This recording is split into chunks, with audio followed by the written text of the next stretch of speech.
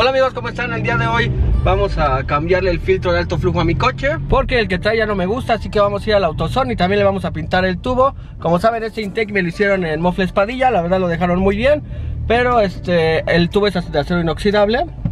Ahorita se lo quiero pintar porque quiero que se vea un poquito mejor. También vamos a ir a comprar unos tornillos que no le pusieron la vez pasada que hicieron el, el servicio al coche No le pusieron, entonces está cuando voy rápido empieza a sonar, empieza como, como una sonaja ahí en el, en el intake.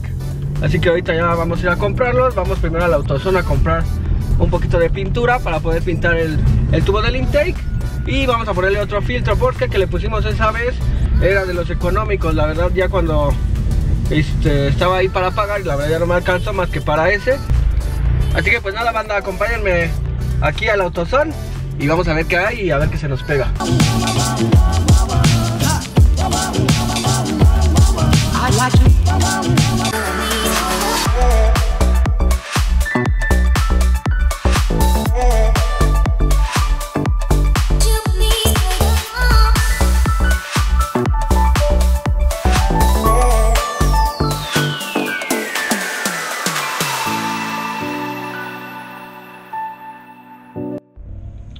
Bueno amigos, ahorita ya compramos la pintura y vieron cuánto cuesta el filtro. El filtro ya lo tenía, lo había comprado hace tiempo, pero ahorita que estaba en el AutoZone, estaba viendo que realmente no todo lo que venden en el AutoZone banda es lo mejor para tu coche. Ahorita vi el S tubo que según es para hacer el intake, que costaba creo que 699. Y cuando me puse, no sé por qué decidí verlo por dentro, porque por fuera es muy cromado, todo es perfecto pero cuando me puse a verlo por dentro me di cuenta que era simple tubo de PVC cromado. tubo no le va a funcionar a tu coche si, tú se lo llegas a comprar. Lo que va a hacer es que como es de PVC va a absorber más el calor. Entonces creo que, manda, no todo lo que nos venda el AutoZone está chido. Si le vas a meter un buen intake a tu carro, es mejor que gastes, no sé, 4500 que es lo que cuestan aproximadamente le metas algo de calidad porque si empieza a, a, recibir aire caliente lo que va a hacer es que te va lo va a hacer más sonso y te va a gastar más gasolina. Listo amigos ahora es momento de quitar el intake. Hay que desatornillar todo este y este es el que vamos a cambiar por el nuevo. Vamos a desatornillar y ahorita vamos a ponerle ya por fin ese tornillo. Como era latoso eh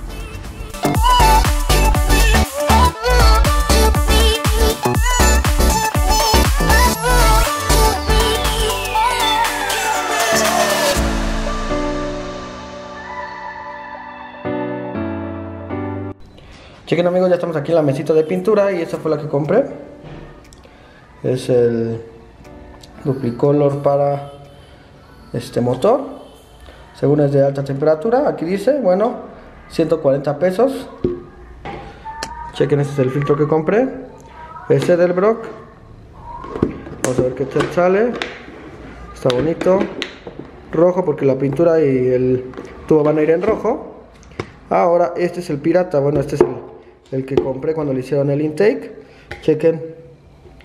No sé, la calidad se ve un poquito baja, pero era para lo que había. En esta ocasión vamos a probar primero el Edelbrock en Amazon. Ya, bueno, después estuve buscando en Amazon y había un filtro KIN que estaba mucho más barato. Aquí va a estar apareciendo la imagen, costaba como creo que 700, 800 pesos, pero era KIN en la página este, oficial de Amazon dice que es Cayenne, espero que no venga piratería ahí, ¿verdad?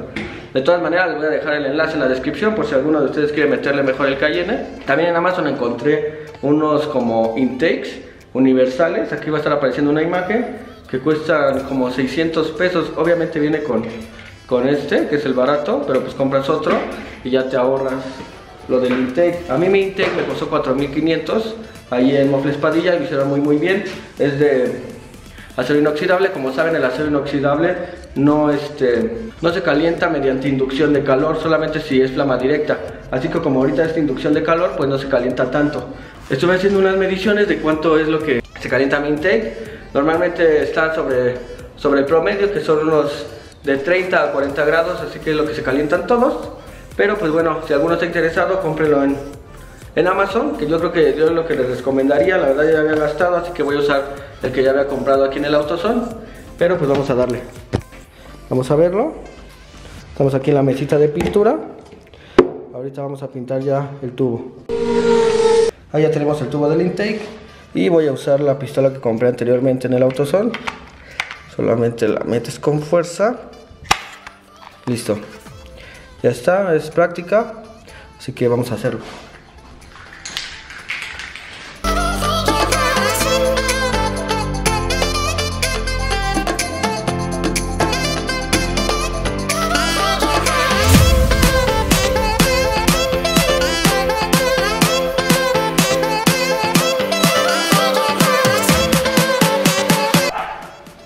Vamos a abrirlo. Ok, creo que este sin duda se ve de mejor calidad que este. Este se siente raro. Este mm, se ve un poquito mejor de calidad, vean. Tiene esto acomodado, no soy muy fan del cromo, pero también tiene estas adaptaciones. Chequen para que se adapte al tamaño de tu del tubo de tu intake. Si tu tubo es más gordo, ya nada más le quitas este, si es más delgado, se lo pones, le pones esto, listo. Ok, si la calidad es mejor, viene grabado, pues vamos a ver qué tal. Listo amigos, ya terminé de pintar, chequen, quedó muy bien, rojito. La verdad lo había visto en un, en un Cupra que lo traía en rojo y me gustó, un Cupra de un cliente. Me gustó bastante.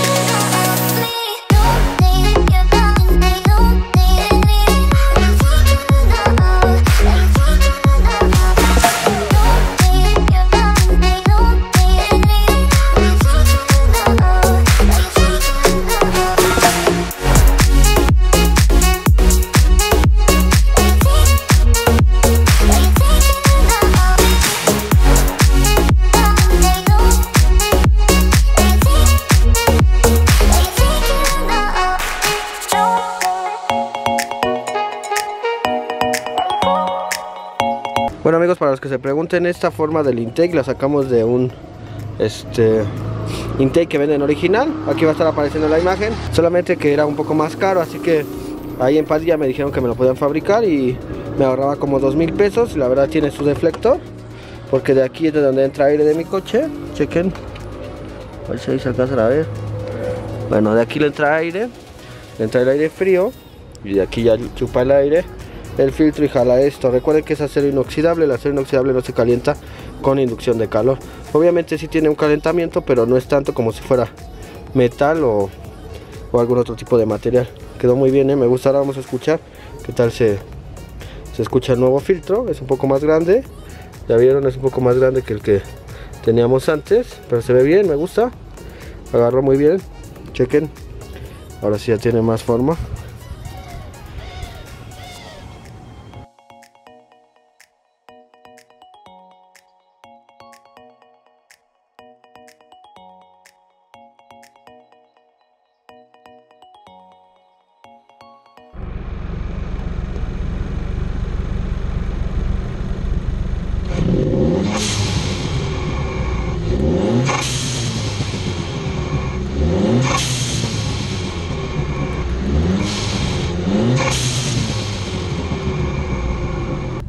Pues listo, así fue como quedó el nuevo filtro de alto flujo. Vamos a estar probando otras marcas. La verdad, pues la chafita no se escuchaba tanto. Ahorita ya con este Edelbrock, que me costó 600 pesos en el AutoZone, sí se escucha un poquito mejor. Tal vez se escucha un poco más fuerte, pero ya sabes que cuando le pones filtro de alto flujo a tu coche, es cuando tienes que hacerle la repro para avisarle a la computadora que está jalando más aire hacia el cuerpo de aceleración y puedas tener una mejor aceleración. Mientras no va a tener ningún cambio o no va a tener ninguna aceleración mejor. Recuerden que el filtro de alto flujo no te aumenta los caballos. Así que, pues nada amigos, si a alguien le sirve el otro filtro que le quité, con mucho gusto se los doy. Solo mándame mensaje a mi Instagram y con mucho gusto nos coordinamos y te lo doy. Y todavía tengo stickers del canal. Gracias al buen Raúl que me hizo unos. Ya saben que luego andamos codificando por SEAT Puerto Aéreo, así que si alguno de ustedes quiere, por allá nos vemos y con mucho gusto se los damos. Ya hemos entregado varios por allá. Y pues listo, pues recuerden, puro pinche tuning y tienen la basura en su lugar para que no se hagan desmadre.